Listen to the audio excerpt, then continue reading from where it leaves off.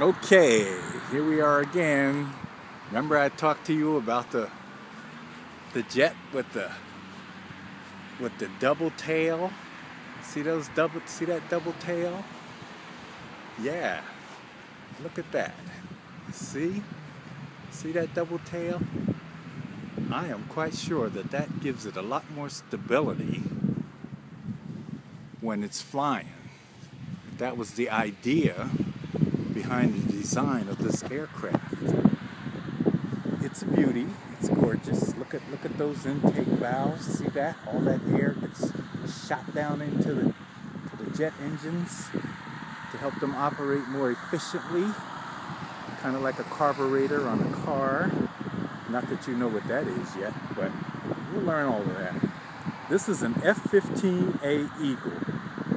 And this one was flown Vietnam and that, and used in other places, I'm sure, since it was put out in 1979. It wasn't that long ago.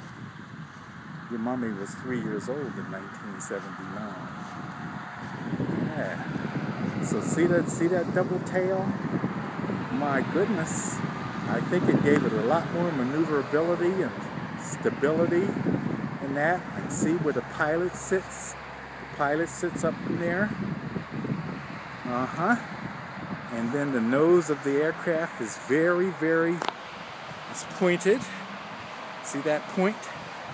So that it goes, moves through the air, pushes the air around it back into those big scoops. See those big scoops? I mean, we're talking big scoops. Let me put my hand up. Can I put my hand up? I'll put my hand on the tip of this aircraft so you can see how big it is compared to my myself. Now we'll walk down and look at the scoops. See the scoops? Scoop that air up. Oh yeah. Get that air in there.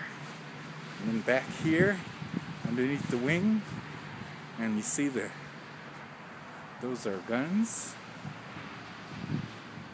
That's a gun turret that was there, missiles.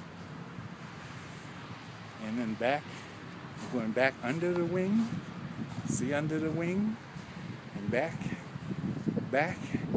See that? It says ZZ, 18th Wing, Air Force 780088.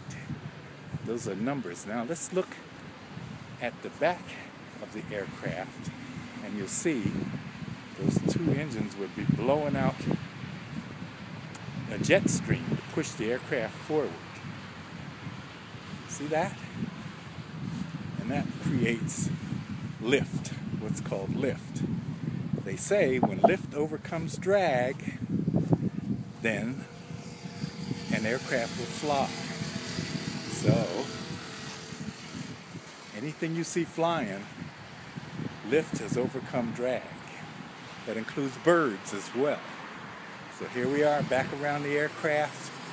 There's the symbol for the Air Force. And there we are. There we are, buddies. Okay. Well, now if we look across the road, you'll see the airplanes that we just looked at when I walked down the line. And then there's Grandpa's car in Japan, my little cube. So, that's it, boys. Can you see the aircraft behind me? I'm happy to have introduced you to some of these aircraft, and we'll be sending you more as time goes on. Take care. I love you. Bye bye.